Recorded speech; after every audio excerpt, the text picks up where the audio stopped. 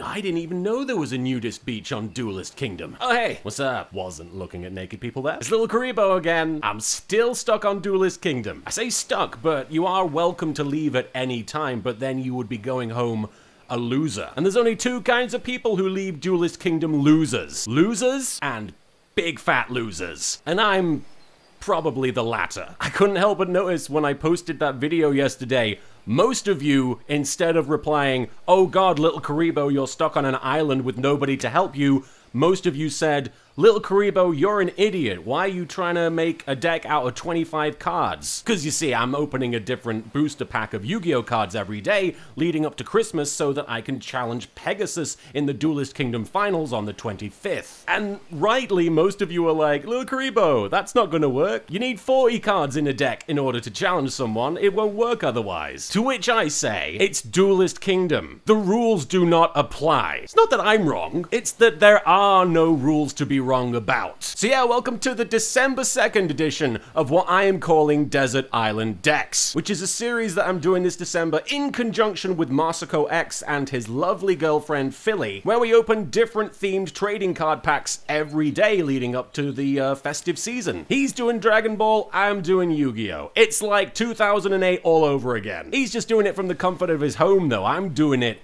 in the trenches. Deep, thick in the trenches of Duelist Kingdom. Last time I opened a pack of pendulum themed cards and I got mm, Double Iris Wizard, I think it was called. Let me check. Oh yeah, it was Double Iris Magician. And apparently this is actually a variation on Yuya's main monster from the ARC-V series. I got told that on Twitter by, I believe, Sephirex. I think he told me. Shout out to Sephirex. So yeah, I'm not gonna be able to defeat Pegasus with one card alone, guys. Which is why I have yet another booster pack to open. I'm very excited. This one's called Circuit Break. And it's got nine cards in it, almost double the amount that I got from the last one, which means there's almost double the chances of getting a Pot of Greed. And we may find out what it does. uh, by the way, while I'm opening this, I should mention that some of you have been mentioning in the comments that if this doesn't end with a duel, then it won't be uh, it won't be worth it. And I never started this intending to duel anybody, but uh, if you guys like these videos and uh, you know if they show interest, if people are interested in them,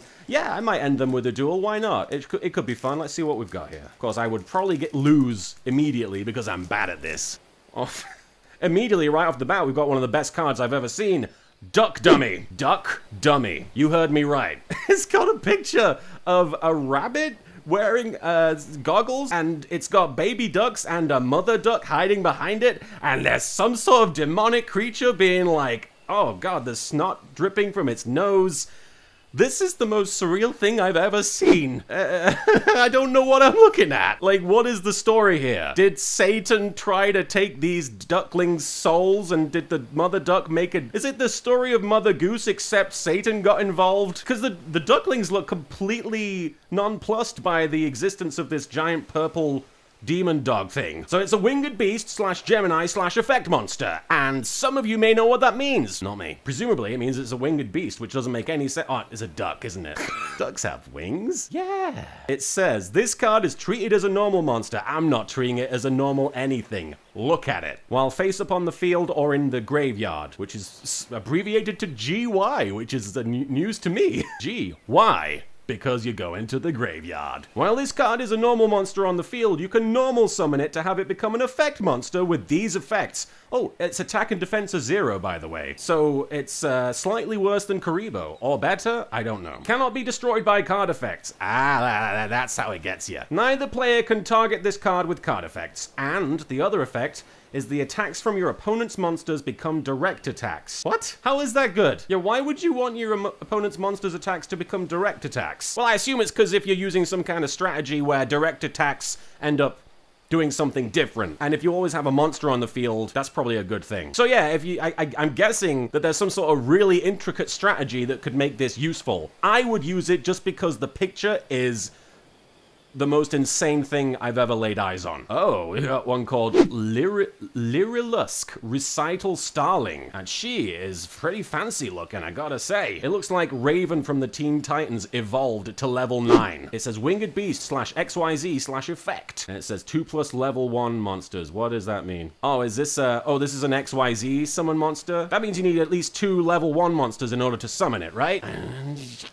This is where I get stumped. If this card is XYZ summoned, you can target one face-up monster on the field. I'm gonna target my Duck Dummy. It gains 300 attack slash defense for each material attached to this card. Material? Am I supposed to wax some plastic on here? What's going on? Once per turn, you can detach one material from this card, add one level 1 winged beast monster from your deck to your hand. All battle damage you take from battles involving this XYZ summon card is also inflicted to your opponent. And again, attack zero, defense zero. A lot of zeros. Gouki Headbatt. And Bat has two T's, so you know it's extreme. I'm surprised there's no Z in there. It looks like if the creature from the Black Lagoon were a Dragon Ball Z character. If this card is in your hand, you can send one other Gouki monster from... Gouki Gouki. You can send one other Gouki monster from your hand to the GY. That's Graveyard. We're, he's a personal friend of mine, that graveyard. He lets me call him GY. Then target one Gouki monster you control. Special summon this card as defense in defense position, and if you do, the targeted monster gets 800 attack until the end of this turn. This card is sent from the field to the GY. Is GY like the OC? Is it gonna be like a, a teen drama set in the GY. If this card is sent from the field to the GY, you can add one Gouki card from your deck to your hand except Gouki Headbatt. Oh, except this one. You can only use each effect of Gouki Headbatt once per turn. So in other words, this is one of those monsters where if you have a bunch of them, it can they can combine their effects, I guess, and just keep summoning them uh, by sending them to the graveyard or the GY. Old MacDonald had some cards. GY, GY-O. G-Y. Amazoness Pet Liger. There's a beast fusion effect monster. Ah, that's the noise I make when I don't know what I'm looking at. Looks like a Warcraft mount. Got a crazy armor with the giant shoulder pads and the spikes. So this is a fusion monster. So in order to summon this, you gotta use Amazoness Tiger, don't got that, and one Amazoness monster, which this would qualify as if, if it were a normal monster. I'm slowly learning, very slowly, and I'm probably getting it all wrong. Please feel free to correct me in the comments and I'll I'll slowly accumulate that information. Once per battle, if this card attacks during damage calculation, you can make this card gain 500 attack during that damage calculation only. If your Amazoness monster attacked an opponent's monster after damage calculation, you can target one face-up monster your opponent controls. It loses 800 attack. That's pretty sweet. Problem is I can't summon this, not without the monsters uh, it requires. So it might be good to have in my deck just in case I get those, but what are the odds? I don't know. Monsters your opponent controls cannot attack Amazoness monsters you control except this one. So yeah, this is a pretty sweet card. I can't use it yet. Uh, got a trap card. Altergeist Protocol. Or Poltergeist Otocol. And it's got a picture... What is that? I'm at a loss, but it kind of looks like a bull crossed with a penguin drowning? I guess the Altergeist protocol is where you have to save your pet bull penguin from drowning. The activation and effects of Altergeist cards, which I guess are a kind of card, uh, activated on your field cannot be negated. When your opponent activates a monster effect, you can send one other face-up Altergeist card you control to the GY. I'm sure a lot of you are like, how does he not know that Graveyard is abbreviated to GY? I've never seen this before. Certainly not to my knowledge. Negate the activation, and if you do, destroy it. You can only use the effect of Altergeist Protocol once per turn. What if I've got more than one of these bull penguin monstrosities. Well, I don't know how useful that one is. Fire King Avatar Arvata. This is like a crossover between Harry Potter and Avatar The Last Airbender. This guy's voiced by Mark Hamill. And not that I would ever accuse a Yu-Gi-Oh card of being subtle, but this is clearly just Ganesha, right? I'm not crazy, am I? It's Ganesha with flaming axes, which is pretty badass. Yeah, I like this card. It's got four stars. It's a Beast Warrior slash Effect Monster. When a monster effect is activated while this monster is on the field, you can negate this activation, and if you do, destroy destroy one other fire monster in your hand or field. If this card is destroyed and sent to the GY, you can target one Fire Beast, Beast Warrior, or Winged Beast Monster in your graveyard, except Fire King Avatar Arvata Cadaver. Special summon it, but it has its effects negated, and also it's destroyed during its end phase. What I've gathered from this is that don't piss off Ganesha. Soldier Dragons. It's literally what it sounds like. Dragons in a suit of armor. Once per turn, when your opponent activates a card or effect, you can special summon one level 2 or lower dragon monster from your deck.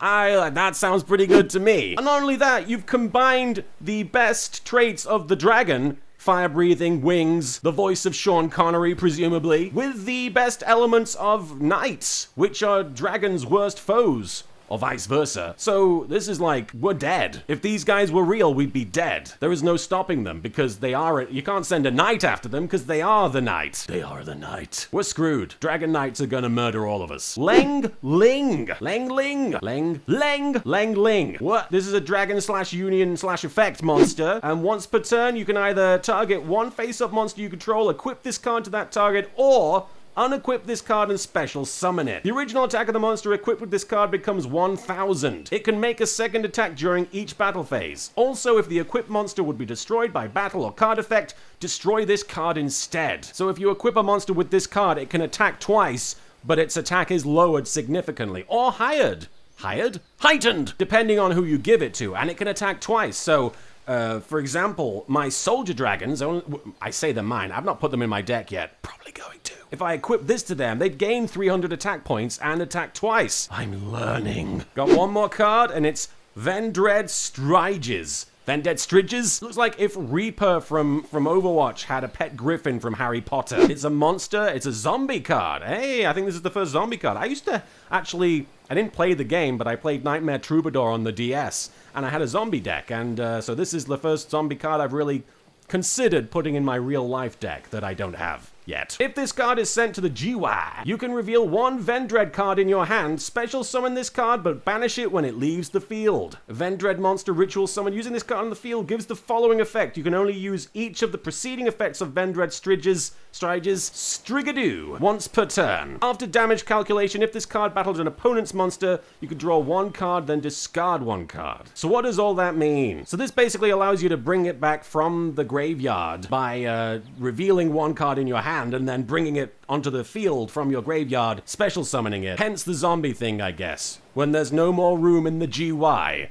the cards will walk the summoning field. George Romero, a big Yu-Gi-Oh enthusiast, obviously. Well, that's all nine cards that we got this time, and now I have to pick one. It's very hard not to go with Duck Dummy, honestly. This is a very strong contender. Obviously, a lot of these, as I said, rely on having other cards. The Amazoness pet Liger needs other cards in order to be summoned.